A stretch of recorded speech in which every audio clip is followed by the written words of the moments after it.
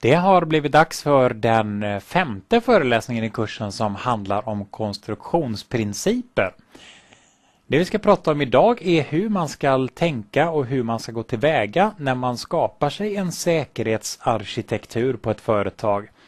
Vi kommer att titta på framförallt åtta stycken olika säkerhetsprinciper och de här säkerhetsprinciperna är nedtecknade i ett dokument daterat 1975 vi ska titta på vad det är som gör att de här principerna är så pass bra att de håller sig än idag. Olika situationer ställer ju naturligtvis olika krav på en verksamhet. Vi ska titta på några av de faktorerna som spelar in för vad det är för säkerhetsmekanismer som kan behövas på just vårat företag. Vi eh, avrundar med att titta på fyra stycken olika brottsprofiler Professor i kriminologi Leif GW Persson gjorde för ett par år sedan en sammanställning över fyra stycken vanligt förekommande profiler för människor som begår IT-relaterade brott. Vi ska ta och titta lite grann på dessa fyra olika profiler och eh, det är väl lika bra att sätta igång va? Konstruktionsprinciper. Ja, när man håller på med eh, säkerhetsarbete så finns det ett par stycken stora utmaningar i det här eh, säkerhetsarbetet. Den eh, första är att kunna ställa korrekta krav på sitt system och på den informationshantering och sådär som rör systemet. Den andra stora utmaningen man har framför sig är att omsätta de här kraven i praktiken. Det finns naturligtvis många bra beskrivningar för hur man genomför det här arbetet. Man kan bland annat läsa i en bok som heter Riktlinjer för god informationssäkerhet utgiven av SIG Security. I den boken så tas det upp flera stycken bra fall för hur man kan konstruera för en god säkerhet. Det mest naturliga är ju naturligtvis att börja med att definiera arkitekturen och sen implementera olika säkerhetslösningar mot den här arkitekturen. Dessvärre är det väldigt ofta fallet snarare att eh, på grund av olika anledningar så sker det här arbetet istället i omvänd ordning. Man eh, börjar med att till exempel skaffa sig en brandvägg och man köper in lite säkerhetsprodukter och sådär.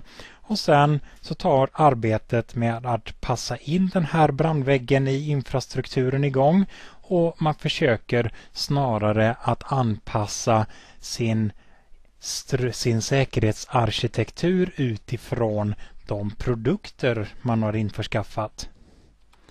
Allt eftersom fler säkerhetsutrustningar köps in så kommer man att märka att eh, det kanske inte alltid riktigt fungerar som man har tänkt. Så man är tvungen att laga utrustningen. Man är tvungen att installera nya saker och patcha upp sitt system för att det ska fungera helt enkelt. Eh, väldigt vanligt är det också att man av olika anledningar behöver öppna upp hål i brandväggar och så vidare för att applikationer ska kunna prata med varandra. I en lite senare del så är det ofta fallet att man har massvis med servrar. Man har ett virvar av servrar. Alla dessa servrar har tjänster som måste kopplas till varandra och det brukar väldigt ofta sluta med att man har ett rena rama spindelnätet av sin infrastruktur där eh, alla får prata med alla och eftersom alla måste prata med alla så är brandväggen öppet för alla håll och kanter. Det behöver naturligtvis inte sluta på det här sättet. Att skapa sig en god säkerhetsarkitektur och en god säkerhet på ett företag, ja, chanserna för det där de ökar ju avsevärt om man angriper hela säkerhetsproblematiken på ett strukturerat sätt. Man börjar med att skapa en arkitektur och utifrån den här arkitekturen placerar man in de tjänster och de skyddsmekanismer man behöver. Om man utgår ifrån sin säkerhetsarkitektur har man ett helhetssyn över hur företaget kan tänkas se ut. Så hur ser då en bra säkerhetsarkitektur ut? Naturligtvis är det så att det finns ingen säkerhetsarkitektur som är den rätta. Det finns ingen säkerhetsarkitektur som är bäst och det finns ingen som är näst bäst. På samma sätt som att det inte finns en eh, datorarkitektur som är bäst så finns det heller ingen säkerhetsarkitektur som är bäst. Det är så många saker som spelar in i vad det är som man behöver ha av sin säkerhetsarkitektur. Så i vanliga fallet behöver man troligen flera olika säkerhetsarkitekturer. Det finns i alla fall inte någon, eller det finns i alla fall ingen bäst säkerhetsarkitektur men det finns en hel del olika säkerhetsarkitekturer att tillgå. Man kan kanske använda dessa olika arkitekturer för att hitta någon som verkar vara bäst för vår organisation eller för vårt företag. Sen kan man utifrån det se till att modifiera den här mallen så att den passar just vår arkitektur på ett så bra sätt som möjligt. Om man har gjort en genomtänkt säkerhetsarkitektur och senare finner sig i en situation där man inte riktigt vet hur man ska göra, hur man ska gå tillväga, så kan man i alla fall luta sig tillbaka på det faktumet att har man bara gjort en bra säkerhetsarkitektur så kan man utifrån de designval man gjorde argumentera för eller emot något. När man skapar sig sin säkerhetsarkitektur så gör man detta genom att analysera företaget eller organisationen och genom att riktigt grundligt analysera företaget så kan man skaffa sig en så pass bra bild av företaget att man på en designmässig nivå kan skapa sig en god säkerhetsarkitektur. Om säkerhetsarkitekturen har kommit till på det här sättet, det vill säga genom noga utvalda designval, har man alltid möjligheten att argumentera för eller emot ett eventuellt beslut. Att ha flera säkerhetsarkitekturer, ska det där vara nödvändigt verkligen? Naturligtvis är det nödvändigt att ha flera stycken säkerhetsarkitekturer. Det finns många anledningar till varför man vill skapa olika säkerhetsarkitekturer. Det kan dels vara så att eh, säkerhetskrav som ställs på den här säkerhetsarkitekturen kan det finnas problem med redan existerande infrastruktur. Kanske kan den existerande infrastrukturen inte modifieras så speciellt mycket. Kanske är man tvungen att använda någon av de tidigare idéerna för att implementera dessa i sin nya fina säkerhetsarkitektur. Det kanske kan finnas andra tekniska problem. Låt oss säga att vi, till, att vi till exempel använder oss av eh, en eh, noga vald och inkörd produkt i organisationen. Kanske är det någon produkt som ligger till bas för hur vår organisation fungerar. Denna produkt kanske inte kan uppfylla den här nya säkerhetsarkitekturen till fullo och i det fallet så kan det naturligtvis vara nödvändigt att ha en speciell säkerhetsarkitektur för den här delen. Det kan även vara så att eh, ekonomiska saker sätter begränsningar.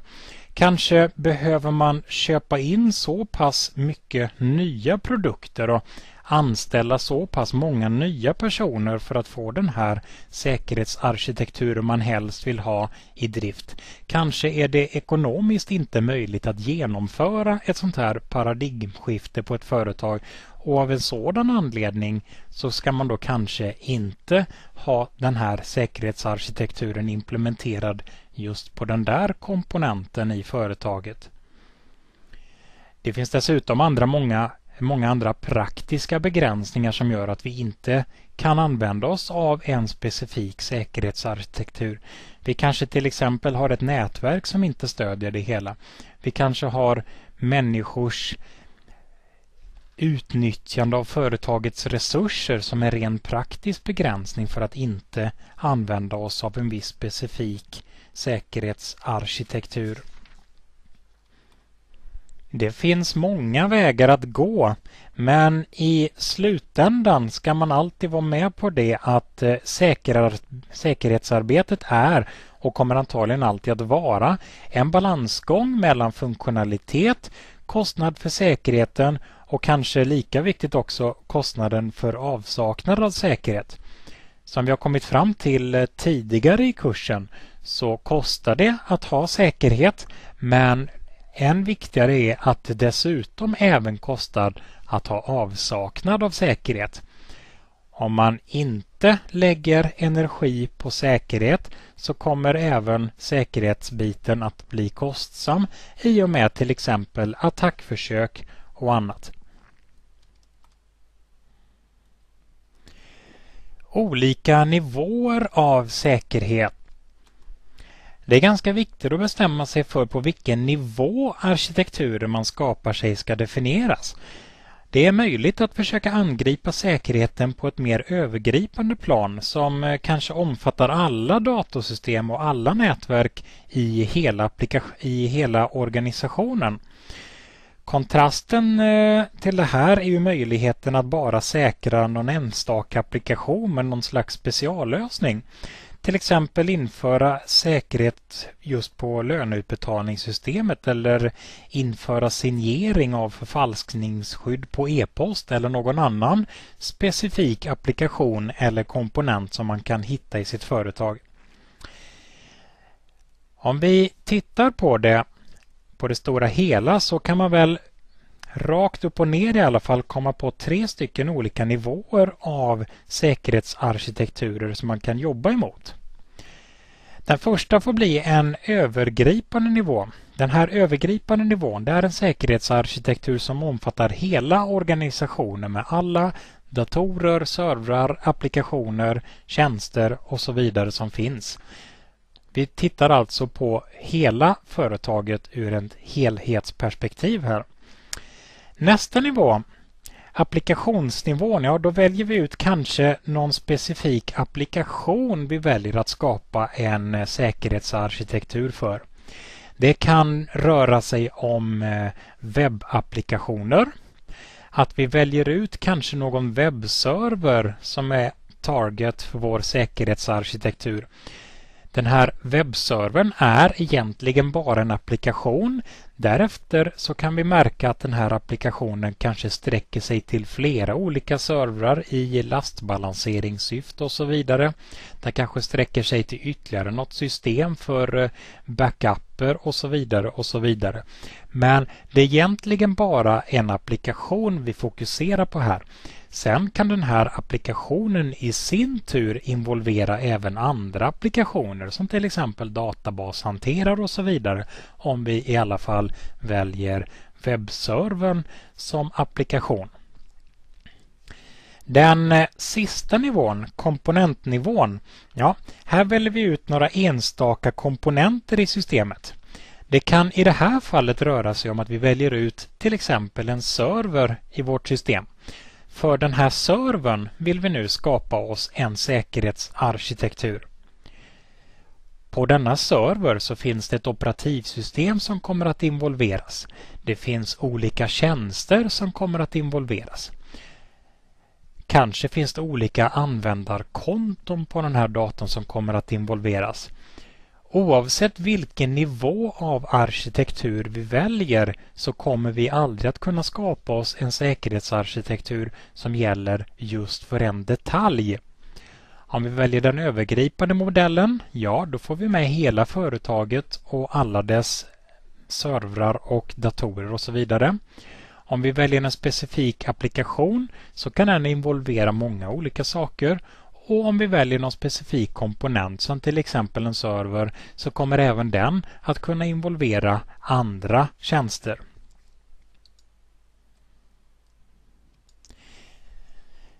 Det finns en del grundkrav vi alltid kan ställa på en säkerhetsarkitektur. Jag har här på sidan 6 listat de här olika grundkraven vi alltid kan ställa på en arkitektur. För det första så måste arkitekturen uppfylla de krav som vi hade specificerat i dels vår säkerhetspolicy och dels i vår säkerhetsplan. Den måste vara implementerbar, det vill säga att den här lösningen, den här arkitekturen vi har kommit fram till måste kunna implementeras i företaget. Den måste dessutom vara kontrollerbar och med att vara kontrollerbar innebär att vi ska kunna ha någon möjlighet att följa upp, det vill säga att inspektera hur säkerhetsarkitekturen fungerar i organisationen. Att den ska vara kontrollerbar innebär att vi ska kunna kontrollera hur väl den här fungerar. Som fjärde punkt, den måste vara användbar.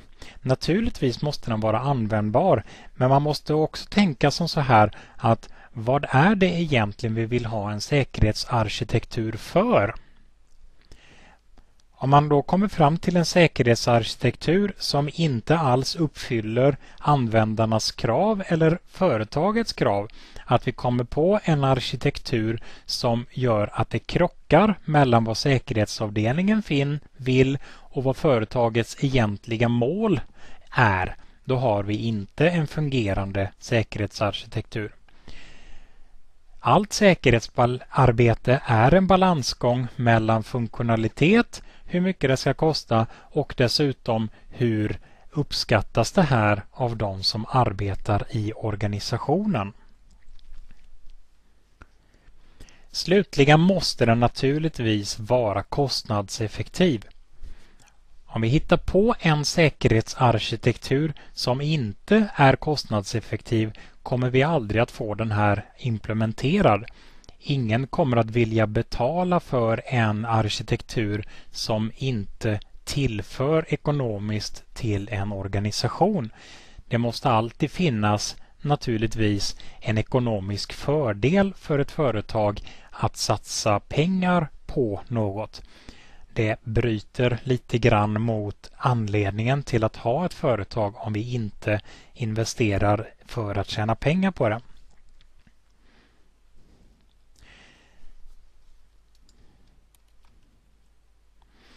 Att konstruera för säkerhet då? Det är en ganska vanlig liknelse att tänka på datasäkerhet som att försöka jämföra det här med informationssystemet för ett hus. Man kan tänka sig så här att i eh, huset så låser man dörren när man är hemma och eh, man släpper inte in vem som helst genom dörren. En privatperson å ena sidan har inte alls samma krav på säkerhet som en militär anläggning kanske har. Man vill naturligtvis inte ha ständiga legitimationskontroller om man vill komma in på tomten och man vill inte ha legitimationskontroller för att få ut gräsklippan ur garaget och så vidare. Eh, man kanske inte ens har råd med vakthundar och kameraövervakade trädgårdslandskap där hemma. Och på samma sätt så vill man naturligtvis inte som privatperson ha avancerade inloggningsmekanismer och sånt här för data som finns på ens egen dator. Det är ganska vanligt att man försöker jämställa intrång i ett hus med intrång i en dator. Men det man ska veta om är att det är två helt olika världar. En privatperson behöver så att säga ett visst skydd för sin egendom, sitt hus till exempel.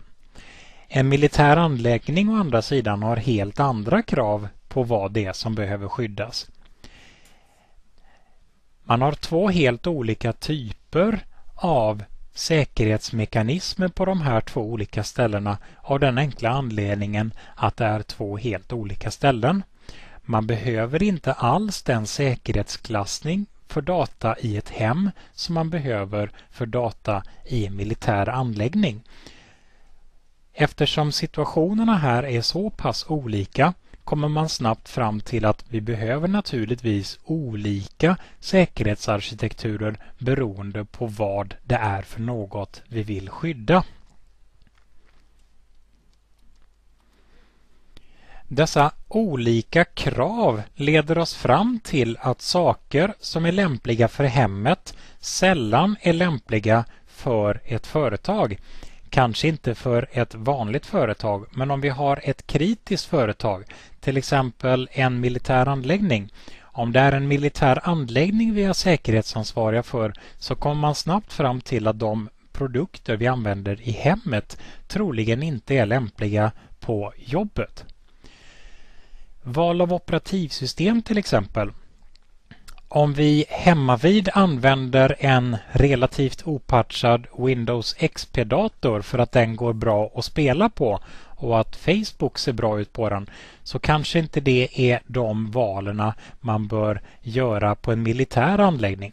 På en militär anläggning behöver man troligen operativsystem som är mer avsedda för skydd. Det finns ett flertal olika operativsystem som mer är avsedda för att vara säkra operativsystem. Vi vill ha säkra operativsystem i grund och botten därför att på en militär anläggning till exempel kan det finnas känslig data lagrad. Den här känsliga datan får absolut inte komma på avvägar av olika anledningar. För en hemanvändare så kanske man tänker sig som så här att man installerar datorn riktigt och fint hemma i soffan. När datorn är installerad lägger man på de program man behöver. Därefter kanske man i bästa fall går ut på Windows Update. Observera nu att det är ganska få personer totalt sett som verkligen, verkligen ger sig ut på Windows Update. Man kanske till och med laddar hem något antivirusprogram någon vecka senare för att lägga på. Eh, det här är ett tämligen vanligt sätt att arbeta med säkerhet. Vi får det att funka först och främst och när det funkar, om tid finnes, då lägger vi på lite säkerhet också för skojs skull. Det här är naturligtvis helt fel sätt att göra det på. Ett betydligt bättre sätt är att installera sitt operativsystem med nätverkssladden urdragen Därefter går man till någon dator som har kontakt med nätverket, laddar hem de senaste servicepatcharna och eh, de senaste uppdateringarna, lägger på dem på systemet. Sen använder en annan dator som är internetansluten för att ladda ner ett antivirusprogram. Därefter virusuppdateringarna. När man stoppar i sladden på en dator som ska kopplas till nätverket, då ska den redan vara maximalt säkrad. Betydligt Bättre är det däremot om man bygger ett nytt system om man ska utveckla någon säkerhetsarkitektur av något slag. Att man tänker på att säkerhet är något som ska vara med från dag ett i utvecklingen.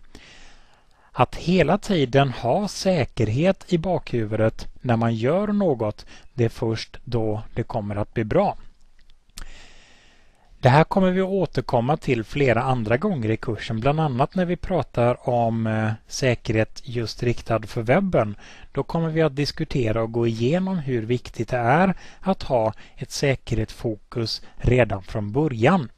Säkerhet är ingenting man kan lägga på i efterhand. Det är en fullständigt omäktig uppgift. Att ha ett säkerhetstänk från början är det enda sättet man kan få det att fungera fullt ut på. Det här avslutar den första delen av den här föreläsningen.